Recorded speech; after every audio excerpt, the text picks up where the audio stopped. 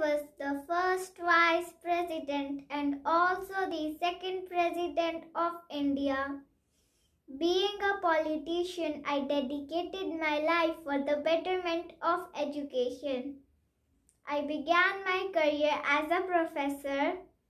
I led Indian delegation at the international level and went on to be elected as the chairman of UNESCO. I also have served as the Indian ambassador to the Soviet Union. I strongly believe that teachers are the best minds in a country and have a high importance in country's development and hence my birthday is celebrated as Teachers Day since 1962. Jai Hind!